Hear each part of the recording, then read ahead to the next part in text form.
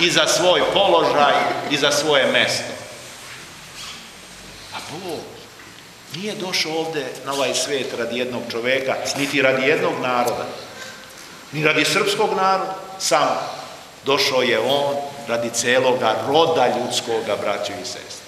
I zato ako tražimo sreću, blagostanje, mir samo za sebe ili eventualno za svoju porodicu, nećemo je dobiti, braćo i sestre.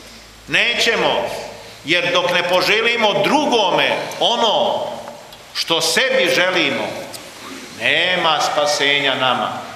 Neće nas Bog preko toga gledati, nego će nas upravo gledati preko toga šta mi činimo drugom.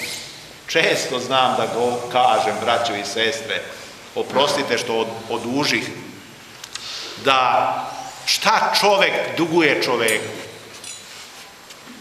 Samo ono što mu daje. To duguje.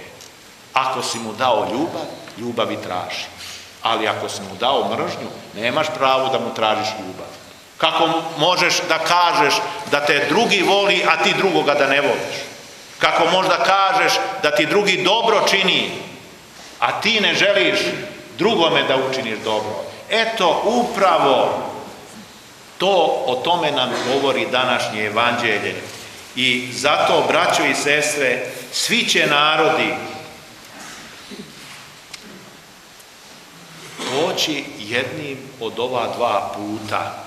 Da li on bio običan čovek, kako to mi kažemo, proš čovek, ili bio car, vladar, vladika, sveštenik, mona, svi moramo poći jednim tim putem, braćo i sestre, u dan strašnog suda. No, ono što treba takođe o čemu da razmišljamo, a to je kada delimo ljude, da vodimo računa. Mi znamo često da izvikujemo čoveka, pa da ga dižemo, ne znam kako visoko. Braćo i sestre, nema velikog čoveka u ovome svetu ako ne bude veliki upravo o drugom dolasku gospodnjem na zemlju da sudi živima i mrtvima, to je upravo ovom strašnom sudu u kome nas uči današnje evanđelje. Rekok i ponavljam, izvikujemo često da je ovaj ili onaj veliki. A šta su naše ljudske hvale za to što mi nekoga dižemo? To je ono što bi rekao prepodobni otac Justin. Šta su hvale kad mi hvalimo nekoga čoveka? On kaže, pa takve su hvale, to je, kaže, isto kao zujanje komarca. Šta nam vredi da ceo svet meni vredi, da mi ceo svet diže slavopojku peva, ako me Bog ne podigne, braćo i sestri? Šta nam vredi da ceo svet govorimo nekome da je to dobar čovek, a Bog zna ko je dobar. Bolje nego mi ako njega Bog ne uzdigne i ne proglasi dobrim. No, ajde oprostite mi još malo da se vratim na tu reč šta je to bratoljublje.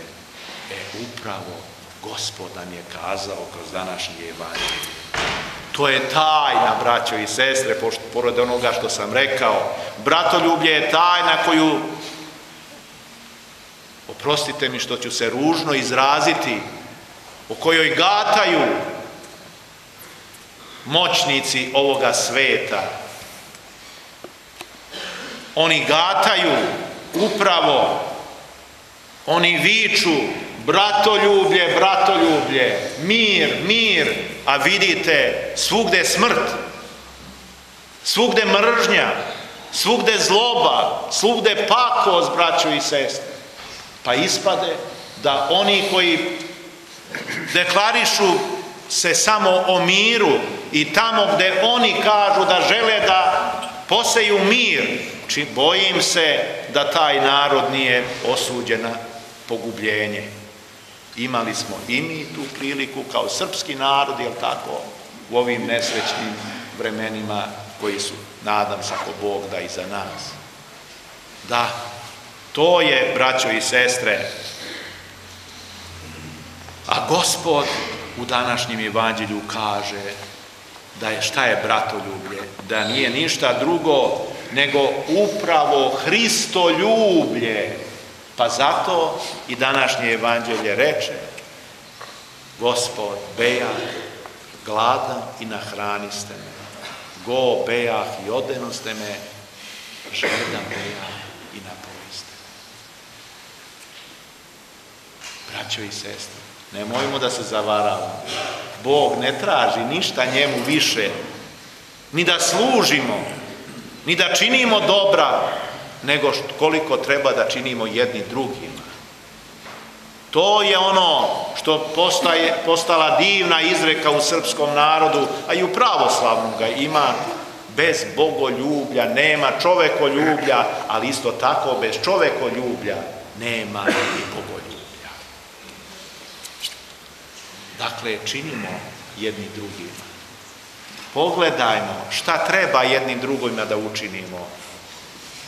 Ne zatvarajmo oči ako možemo i ako smo u stanju da pomognemo, da li gladnom, da li žednom, da li uniženom, da li poniženom, braćo i sestre. Ne gledajmo na to, nego učinimo šta možemo. Ali, i ako ne možemo da damo nekome koru hleba, ne možemo da mu damo neki dinar ili ne znam šta drugo, Sveti Jovan Zlatousti nas uči pa kaže, ako sve od toga ne možeš ništa da mu daš, pa možda mu daš molitvu, možda mu daš suzu pokajničku, suzu osetljivosti, da osetiš bol i nevolju drugoga čoveka. To je ono što njegoš kaže, da bi koji da požali kao kada bi pomogao. To je hrišćanstvo, da vidimo šta drugome želi.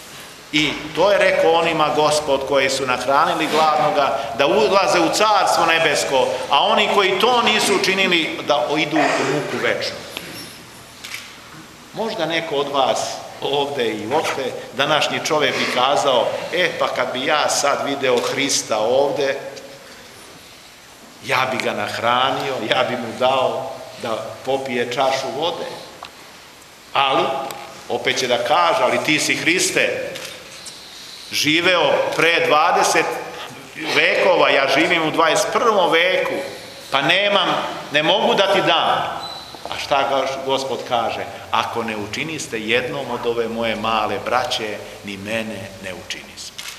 Braće i sestre, ovo je divno evanđelje koje nas uči šta je bratoljublje, a šta je samoljublje.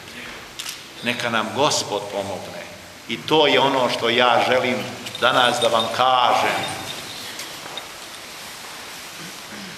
Da u ovoj novoj eparhiji upravo bude bratoljublja. Da vidimo jedan drugoga. Da sagledamo. To je crkva. Da živimo u slozi i miru i ljubavi. Da nam ne bude samo mir i ljubav i sloga na jeziku, a da toga nema u nama, u našim srcima. I znajte, onome čoveku kome je samo mir na jeziku, znajte, u srcu mu je mržnja. Ovde je crkva naša, crkva Hristova, crkva Srpska, našla za shodno da osnuje Kruševačku eparhiju, da zasnuje eparhiju u ovim delovima ovde, kako biste vi zajedno jedni sa drugima činili dobro radi spasenja i radi onog puta koji vodi u život večni Bog vas blagoslovi. Recimo sve sve duše